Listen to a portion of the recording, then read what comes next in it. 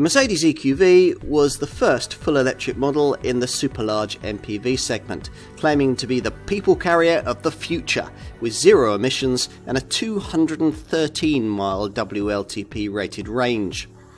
There are few practical compromises with the battery installation, and quality levels are way higher than you'd expect from a van derived product.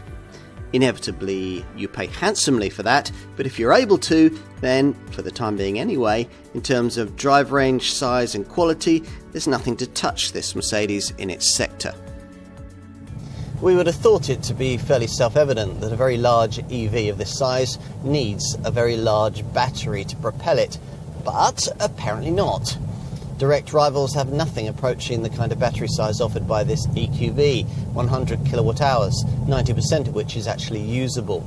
As a result, this Mercedes can take you much further on a single charge, 213 miles, than any of its most direct segment challengers. Though not, of course, if you use all the performance available to you from the 204 horsepower asynchronous electric motor which develops 362 newton meters of torque. That's nearly as much as you'd get from the diesel unit in a conventional V220D diesel variant. Engage the most dynamic of the available drive modes, that's sport, and 62 miles an hour from rest can be dispatched in 12.1 seconds. But you'll be able to watch your battery reserves draining almost visibly in the consumption part of the center dash screen's EQ menu if you drive this Mercedes like that or try to approach the modest 98 mile an hour top speed. You can conserve and potentially replenish your energy store by varying brake regeneration using these steering wheel paddles or by choosing either of the two most frugal drive modes, Eco or Eco Plus Maximum Range, both of which soften throttle response. When the time comes to plug in, an 80% rapid charge is possible in 40 minutes using the 110 kilowatt DC onboard charger. As usual, AC replenishment requires longer but uses less energy. Using the 11 kilowatt AC water cooled onboard charger, a 0 to 100% charge is possible in 10 hours.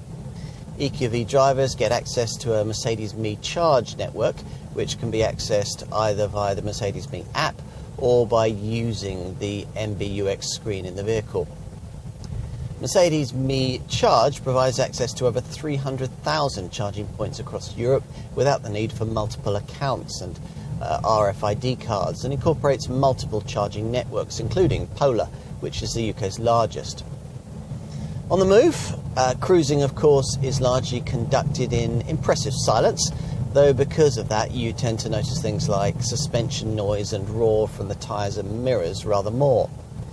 All that aside, the drive experience here is much as it would be in a conventionally engined V Class. Inevitably, given the size of this MPV, it's 5.37 metres long and almost 2.25 metres in width, including the mirrors, and the elephantine curb weight, nearly 2.7 tonnes, this Mercedes can feel a fairly ponderous thing.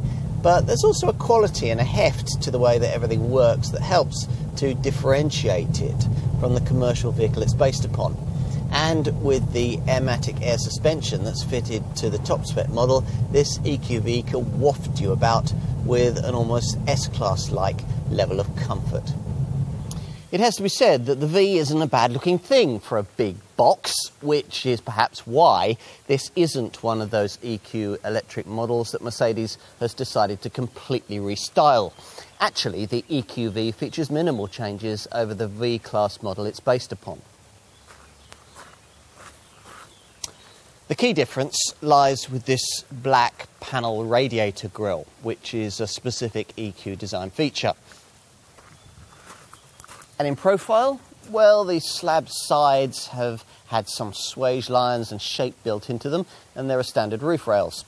Only the biggest long wheelbase, extra long variant of this model is being sold in the UK, which is quite a hunk of Stuttgart real estate 5.37 metres in total length and over 1.9 metres in height. Up front, you're treated to an agreeably high and commanding driving position. Look around and you'll be pleased to know that there's nothing particularly LCV like about the opulently finished cabin. There's not much that's particularly EV like either, so unless you happen to register the EV power meter that replaces the usual rev counter in the instrument binnacle, or come across the extra EQ menu on the centre dash monitor, you'll notice no differentiation over a combustion V Class model. You're certainly treated to an upmarket ambience thanks to Lugano black leather upholstered seats with armrests and discreet ambient lighting. So it's as different in here from the e-Vito van as Mercedes could possibly make it. Adding to the feeling of luxury is a sense of space.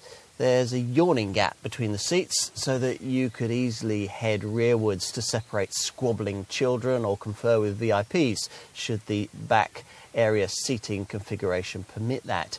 And as you'd expect on an MPV, there's plenty of space to store stuff, though rearward vision is compromised by the third row seating, so you'll really need the standard parking sensors and rear view camera. Media connectivity is provided via this 10.25 inch MBUX central touchscreen, which features Hey Mercedes voice activated functionality and works via this uh, intuitive touchpad sitting in this extended out part of the center stack. Uh, the main screen also features the EV specific EQ menu that we mentioned earlier, which gives you charging options, uh, battery consumption info, and an energy flow monitor so that you can see the electric powertrain working in real time.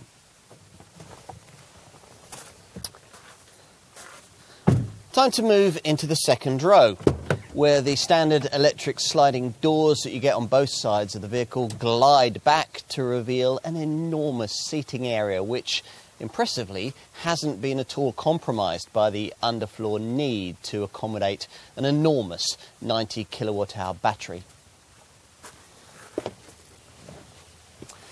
There are only two individual middle seats here, Unlike a conventionally engined V-Class, there's no option of having a three-person middle bench. Provided you've avoided base sport spec though, you do get that ordinary model's table package, which includes this folding table from which you can extend flaps that provide a work surface for passengers on either side. Like the two individual seats, this table unit can slide backwards and forwards Now, if all the rear seats are forward facing, getting to the very rearmost third row is a touch more awkward. Still, at least once you're finally in, the EQV's boxy shape means the very back here is suitable for adults rather than just kids. You get a three person bench, and with the middle row chairs normally positioned, it offers plenty of space for legs and knees, plus ample headroom. Let's finish with a look at luggage space. Before we go lifting this tailgate, it's worth mentioning that there's the convenience of this separately lifting rear glass section if all you want to do is throw in a few lighter items or perhaps you don't have the space to open up the full hatch. You certainly have to stand back when it does activate. Once it's up, a canopy is created, which is quite helpful in bad weather if you're loading in luggage or trying to corral the kids around the car. Because, as mentioned previously, the EQV is based on the largest extra long V-Class body shape, the luggage space that you get at this point isn't very much compromised by the positioning of the third seating row. With this rearmost bench normally positioned, there's a massive 1,410 litres of carriage space. Of course, if you're able to take the second and third row chairs out, you basically get yourself a removal van with all the second and third row seats out, and EQV offers up to 5,010 litres of space. Will the EQV catch on? You might wonder, given the prices being asked here and the practical charging limitations. Mind you, 500 miles in a day could be achievable with careful lunch break charging from taxi driver and limousine operators. And of course, the further you go, the bigger the chance you'll be able to recover the initial upfront asking price investment, particularly if you regularly drive in the London congestion charge or ultra low emission zones. Few would have guessed Mercedes would base its second all electric model on the humble V Class but this is a comprehensively engineered and very forward thinking product. in a decade or so, a combustion engine people carrier of this size will be very rare indeed. And when that happens, we'll look back at the EQV as being the originator of a very significant trend.